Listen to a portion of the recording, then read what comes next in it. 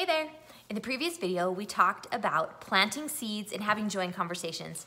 All right, for today's video, I'm going to show you something that you can give to people when you have a conversation with them, something that you can give them that gives them a little more information and gives them a little taste of Scentsy to get them excited about potentially joining you and starting their own Scentsy journey. We have to have these recruiting conversations because your goal as a certified consultant is to get to lead consultant as soon as you can, but you can't get to lead consultant until you start to have downline and start to have active downline eh, or active frontline, and we talked about that in a previous video. So see, we're slowly building on these steps to help you get to that next goal on your Scentsy journey.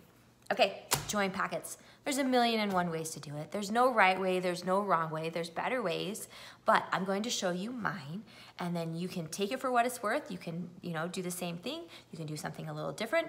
You can go onto YouTube, type in join packets or possibility packets. You're gonna find a lot of information. Even in the Scentsy Training Center, you'll be able to find some information. Okay, I'm gonna show you what it looks like when you hand it out to the person and then you can, and then I'll take it out so you can see what I have in each one of these. So this is just a six by nine um, clear envelope mailer.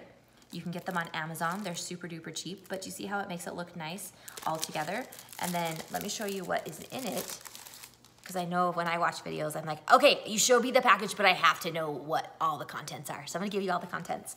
All right, I have a business card in there with my information. It's actually a magnet, but got a business card. This is something that I created that I got from a training that I listened to.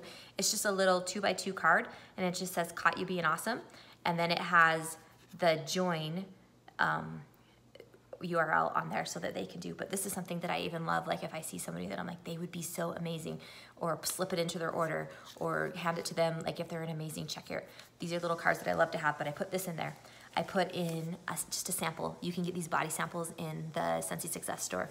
I put a scent circle, again, giving them a few options to try out the different Scentsy products. If you're like, oh my gosh, Deb, I love this sticker, I've got a file that I can send you if you're interested in that.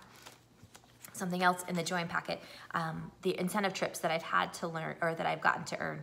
I put together just a little collage so they can see all the fun places that I've been able to go because of Scentsy um, something else, you can get this also in the Scentsy Success, Success store. It is just a join, join brochure and it's got the compensation plans, it's got the different starter kits, it's got my information on it, but that you can get and it's super duper cheap in there.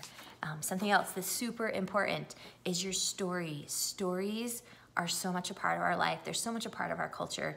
It's what really connects people to each other and these potential recruits to you.